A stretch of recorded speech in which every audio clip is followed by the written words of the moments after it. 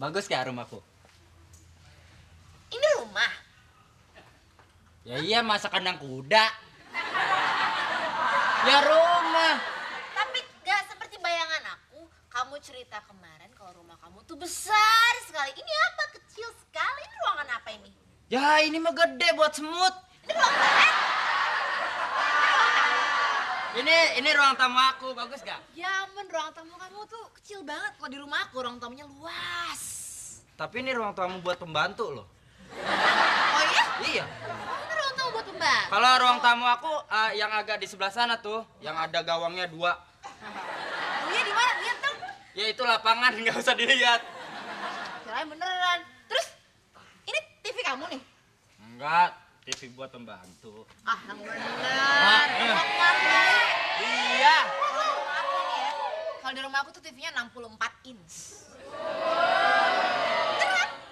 24 in. Iya. Gak ada TV segini. TV segini eh. yang nonton. Eh, TV segini yang nonton siapa?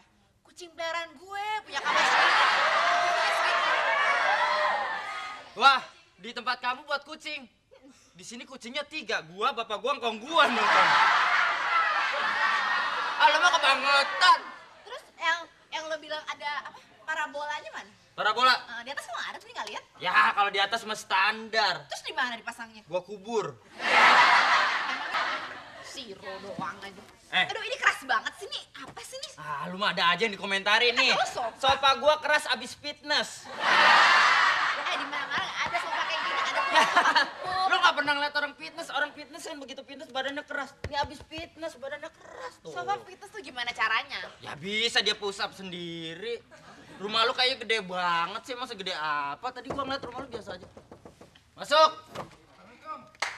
Waalaikumsalam.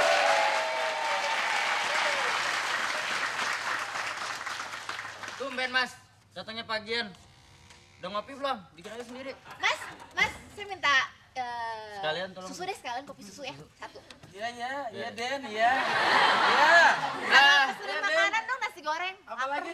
Nasi nasi goreng. goreng boleh. Gerobaknya enggak buat nabrak Den. AC-nya benerin deh sekalian nih panas. AC, AC. Itu kalau Kalau kalau lu nggak cocok AC, pakai kipas sate. Mas jangan kurang ajar. Kolam renang yang di lantai tiga udah dibenerin, Mas. Udah, udah mau jadi. Udah, udah. Yang di lantai tiga udah mau jadi. Udah jadi bagus. Cuma yang lantai dua bocor ke mana-mana. Ada bleber kayak muka saya. Oh iya iya. Eh, iya. Neng, gue cuma mau ngasih tahu, gue nih bapaknya dia. Hah? Gue bapaknya dia. Bapak jangan jujur ya.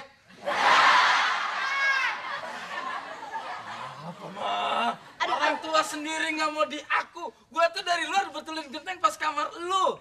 Lu tau nggak kalau nggak dibetulin bocor? Oh.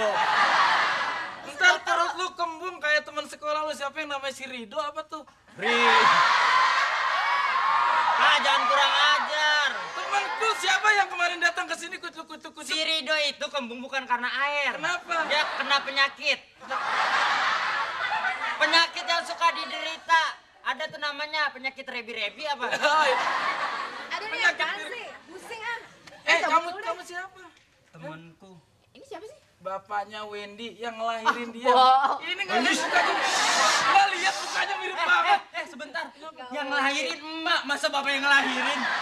Kan malu nggak ada, Wen. Masa Lu tuh lahir dulu malu ngerokin gua. Pas itu ada tulisan gitu, pas dikerokok jadi lu. Jadi lu. Emang emang ini pocer dikerok jadi. Ayo udah deh, gue mau pulang dulu. Ya udah, Ntar gua ke sini lagi Balik lagi ya. Ya. Ya, ini ini belum jadi ntar Cium begitu lu tangan balik. dong, cium tangan sama Om Narji. Jangan, papa Ya, gangguin. deh, Wendy. pokoknya duluan ya. Iya, dia. Dasar Eh, jangan lupa ya. Eh, nasi goreng jangan lupa nanti. Eh, bapak gua. Bapak gua. Bapak gua. Iya. Maaf, maaf, maaf. Sayang temennya anak gua. Kalau bukan gua pacarin juga lu. Oh, bapak jangan gitu dong. Bapak apa gaya doang begini, men. Kalau dibuka mah kegantengannya akan keluar. Ini pintu bandel banget sih.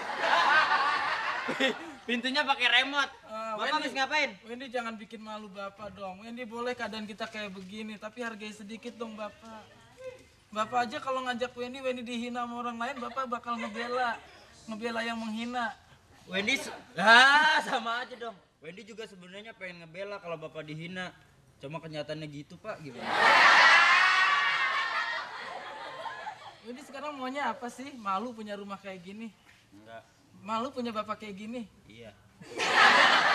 Oh iya sih jawabnya. Enggak, enggak deh, enggak, enggak. Ntar awas ya kalau kayak gitu lagi uang jajannya bapak nggak keluarin. Biarin Wendy ambil sendiri. Wendy, sekarang kok saya tahu Wendy itu udah tua. Saya juga tahu saya masih muda. Wen, ingat tatap mata bapak kalau bapak sedang bicara. Tatap, tatap satu. Enggak mau Pak, takut Wendy mimpi serem. Kalau bercanda itu penting.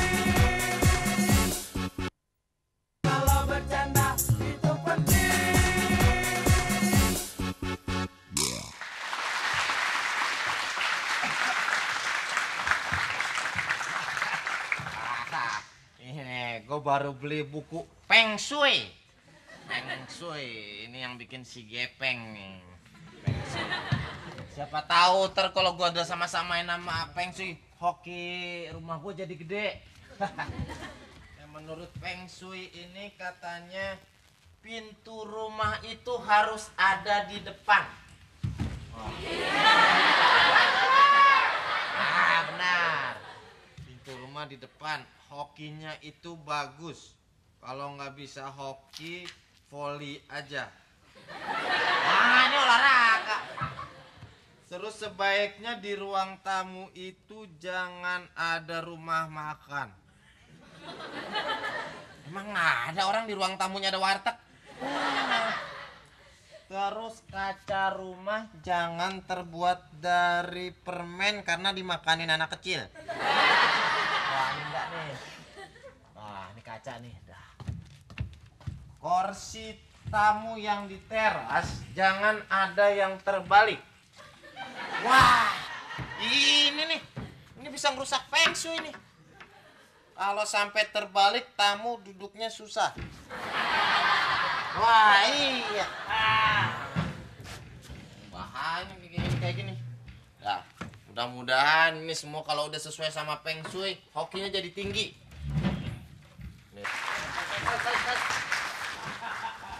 Bos, kita mengukur tanah apa mengiketin kangkung sih? Kenapa? Meterannya mana tadi nggak dibawa ya? Mas, mas, mas, siapa yang mati mas pakai polis lah.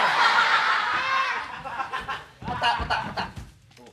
Ngapain lu ukur-ukur sini kagak dijual? Ini Pak, kebetulan daerah sini mau kita bangun mall. Betul. Kenalkan, saya adalah vibrator yang paling terkenal.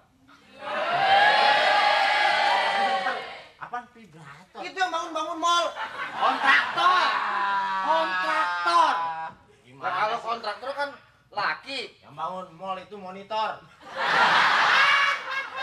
Mau dibangun mall, Pak, di sini, Pak. Nah, di sini duduk dulu. Eh, duduk, duduk, duduk. Eh. Aduh, santai aja nggak apa-apa. Ayo, Pak. eh. Pak, jadi kita di sini mau ngukur Pak. Sementara ini kita masih ditunggu. Oh, ya udah, Iya. udah. Ah, Insinyur Andre. Apa kabar, Men? Pala, pala siapa copot tuh? Lo tau nggak dulu dia mukanya biasa-biasa aja, sering nempel muka gue jadi ganteng kayak gini.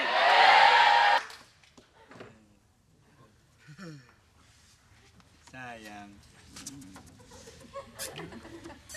Bibirnya maju dikit dong.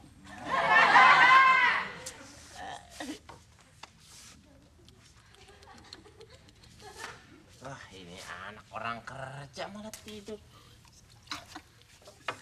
Eh. Bangun.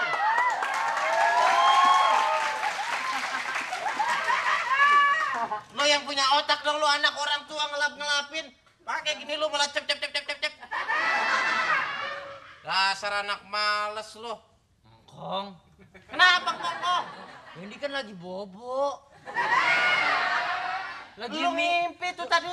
lagi mimpi dikelilingin sama cewek-cewek cakep pengen dicium engkong siram tinggal segini lagi kong segini.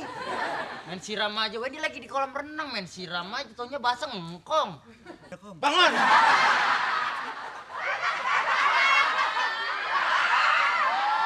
Lo, udah gua bangunin. Gua bangunin lo.